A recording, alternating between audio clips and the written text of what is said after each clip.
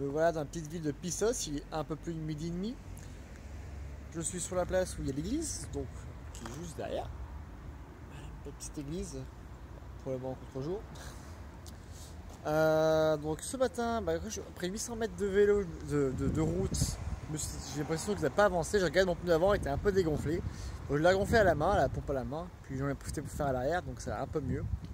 Puis après, bah, j'ai refait quelques kilomètres et la chaîne s'est mis à bien, à bien, bien couiner, donc j'ai regressé la chaîne. Je continue à pédaler, à pédaler. Le pédalier continue à, faire du bruit, donc j'ai maintenant graissé le pédalier. Il fait encore un peu de bruit, donc je suis pas complètement rassuré.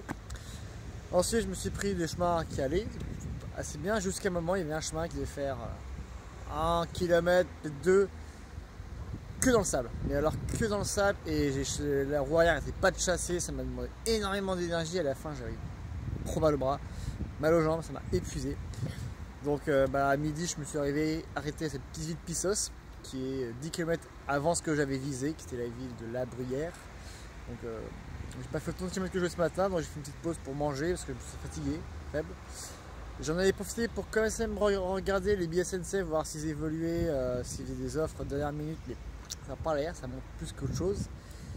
Et le truc qui m'inquiète plus, c'est qu'il n'y a plus un seul train avant plusieurs, je sais pas, je sais pas combien de temps, il n'y a plus un seul train avec euh, possibilité de mettre le vélo dedans. Là, c'est une autre histoire, c'est un autre, autre, problème. Donc je vais réfléchir sur le chemin, comment je vais essayer de faire, et puis euh, on a encore quelques jours pour trouver une solution.